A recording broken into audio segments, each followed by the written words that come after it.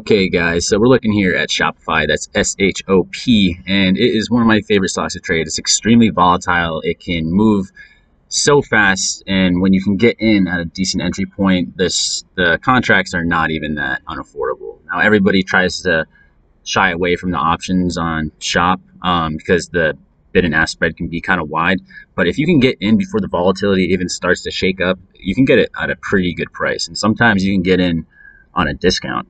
So looking here at shop, it still has plenty of room to run up here. Um, it's close to breaking out. We just needed to get above this high of uh, 1044 and it's going to run to 1,100 and obviously I think it's going to hit that uh, 1,200 mark quicker than you actually think because Shopify, once it actually does start to move, once it does break out, it makes a considerable run. It's going to break out here on the longer term time frame and you know, it almost resembles AMD on the yearly chart because this is just one big bull flag, guys. And I've been trading this thing since it was, I think, around $85. And, you know, I had a price target 150 and then that 150 price target turned to 500 and that 500 turned to 1000 and now I think shop is going to be worth at least 2000 by the end of 2021 that's my prediction um, it's going to be close to it around 1800 most likely um, so once this breaks out, we can run to 1500 within months. So the if you're just trying to day trade this or swing trade it, um, this is definitely should be on your watch list over the next few weeks because we're too close to this resistance line to not try and retest the highs of uh, 1070. And even if you're just day trading, you know that's a that's a $40 move, and that's going to net you at least 100% profit if you're trading options.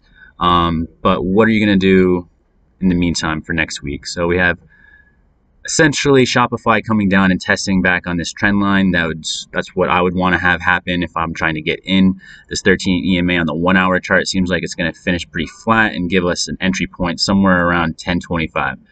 It's currently sitting around 1033, so don't just jump in right away. Um, you might even be able to might even trade flat and break out um, on Tuesday, nine. So this would probably give a a nice breakout to that 1,105 level that I was talking about.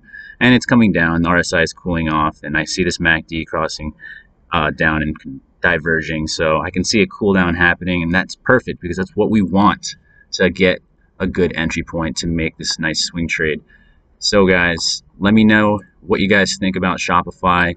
Um, what are you? What are your entries? What are your exits? And you know, let's see what those profit targets are because this thing can really move upwards and be bullish. And I'm really happy to to be already in it. So let me know what you guys think.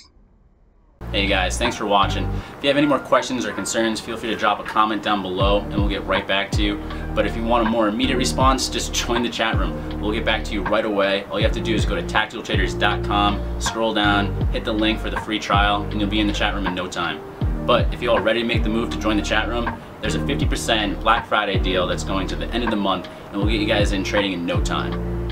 But until next time, stay on target.